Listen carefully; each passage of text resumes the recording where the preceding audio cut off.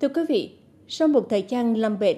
mặc Châu đã được tập thể y bác sĩ Bệnh viện C tận tình cứu chữa, gia đình hết lòng chăm sóc, nhưng cho tuổi cao sức yếu. Đồng chí Trần Thận, nguyên khu ủy viên khu 5, bí thư đặc ủy Quảng Đà, phó chủ nhiệm Ủy ban Thanh tra Chính phủ đã qua đời tại nhà riêng vào lúc 14 giờ 45 phút ngày 5 tháng 6 năm 2021 nhằm ngày 25 tháng 4 năm Tân Sửu, thượng thọ 94 tuổi. Trong niềm tiếc thương vô hạn, chiều nay, ban tổ chức lễ tang và gia đình đã tổ chức trọng thể lễ truy điệu đồng chí Trần Thận.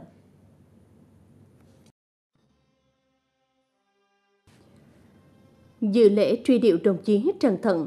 nguyên khu ủy viên khu 5, bí thư đặc ủy Quảng Đà, phó chủ nhiệm Ủy ban Thanh tra Chính phủ, có các đồng chí Ủy viên Ban chấp hành Trung ương Đảng, Bí thư Thành ủy Đà Nẵng Nguyễn Văn Quảng, Ủy viên dự khuyết Ban chấp hành Trung ương Đảng, Phó Bí thư Thường trực Thành ủy, Chủ tịch Hội đồng nhân dân thành phố Đà Nẵng Lương Quyện Minh Triết,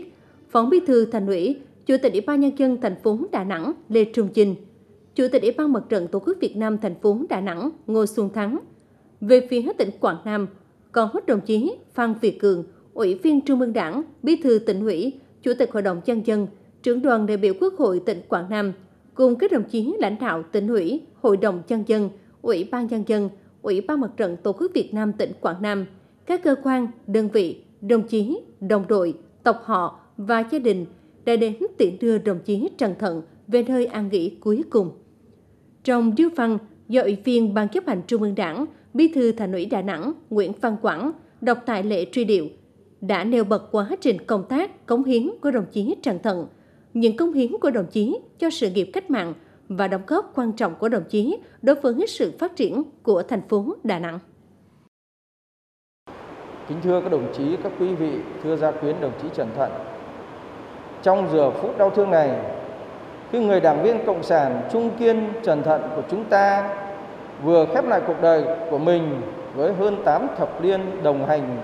cùng đảng, cùng dân tộc. Từ trong sâu thẳm của mình, chúng tôi ý thức được rằng sự ra đi của đồng chí là một tổn thất không gì bù đắp nổi của đảng bộ, chính quyền, nhân dân thành phố Đà Nẵng và tỉnh Quảng Nam, của gia đình và dòng tộc của đồng chí.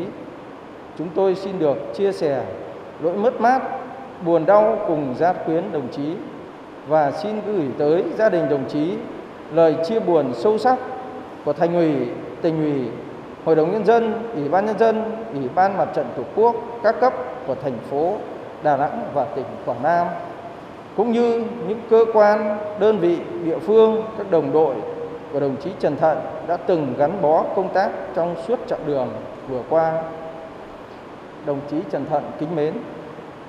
dẫu biết quy luật của muôn đời là có sống, có thác, có còn, có mất,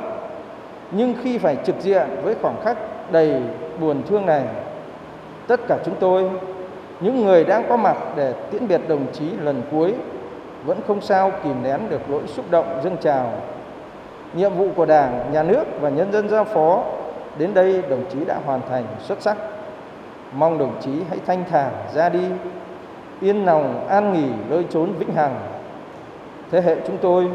những người ở lại, nguyện sẽ tiếp tục học tập, phát huy truyền thống của quê hương, tấm gương của đồng chí, tiếp tục thực hiện nguyện vọng của đồng chí, quyết tâm xây dựng quê hương, đất nước ngày càng phồn vinh hạnh phúc. Xin kính cẩn nghiêng mình, tiếc thương vĩnh biệt đồng chí Trần Thận kính mến. Đồng chí Trần Thận sinh năm 1927 tại Duy Vinh, Duy Xuyên, Quảng Nam. Thường trú tại số 4 Nguyễn Thị Minh Khai, phường Thạch Thang, quận Hải Châu, thành phố Đà Nẵng. Ông tham gia cách mạng từ năm 1941. Từ khi tham gia cách mạng, Đến khi từ biệt cuộc đời, đồng chí Trần Thận đã có hơn 80 năm cống hiến cho cách mạng. Phần lớn những năm tháng đó, đồng chí đã bám trụ công tác ở khu 5 và liên tục tham gia các quỹ lãnh đạo, chỉ đạo ở nhiều địa bàn cơ sở của tỉnh Quảng Nam và thành phố Đà Nẵng. Dù ở đâu, trên cương vị công tác nào, đồng chí cũng luôn tuyệt đối trung thành với đảng, không ngừng phấn đấu rèn luyện phẩm chất đạo đức cách mạng, dũng cảm, kiên cường trong chiến đấu, mẫu mực trong lối sống. Đặc biệt, đồng chí luôn thể hiện rõ năng lực công tác, Trong thời chiến cũng như thời bình, góp phần xứng đáng vào sự nghiệp giải phóng dân tộc, thống nhất đất nước, xây dựng và bảo vệ Tổ quốc Việt Nam xã hội chủ nghĩa. Với những cống hiến đó, đồng chí Trần Thận đã vinh dự được Đảng và Nhà nước tặng thưởng nhiều danh hiệu cao quý như huy hiệu 80 năm tuổi Đảng, huân chương Hồ Chí Minh, huân chương độc lập hạng nhất, huân chương kháng chiến hạng nhất, huân chương giải phóng hạng nhất, huân chương thành đồng hạng ba. Sự nghiệp cách mạng của đồng chí Trần Thận là một tấm gương sáng cho nhiều thế hệ cán bộ, đảng viên và nhân dân noi theo. Trước đó, vào lúc 16 giờ 30 phút chiều nay, các đồng chí lãnh đạo thành ủy, Hội đồng nhân dân, Ủy ban nhân dân, Ủy ban Mặt trận Tổ quốc Việt Nam thành phố Đà Nẵng do Ủy viên Ban chấp hành Trung ương Đảng, Bí thư Thành ủy Đà Nẵng Nguyễn Phan Quảng làm trưởng đoàn để đến viếng và chia buồn cùng gia quyến đồng chí Trần Thận. Các đồng chí lãnh đạo tỉnh ủy, Hội đồng nhân dân, Ủy ban nhân dân, Ủy ban Mặt trận Tổ quốc Việt Nam tỉnh Quảng Nam do đồng chí Phan Việt Cường, Ủy viên Ban chấp hành Trung ương Đảng, Bí thư tỉnh ủy, Chủ tịch Hội đồng nhân dân, trưởng đoàn đại biểu Quốc hội tỉnh Quảng Nam làm trưởng đoàn đến viếng đồng chí Trần Thận.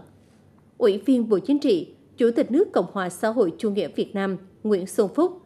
nguyên Chủ tịch nước Trương Tấn Sang cùng các đồng chí lãnh đạo các ban, bộ, ngành trung ương cũng đã gửi vòng hoa viếng chia buồn cùng cha quyến đồng chí Trần Thận.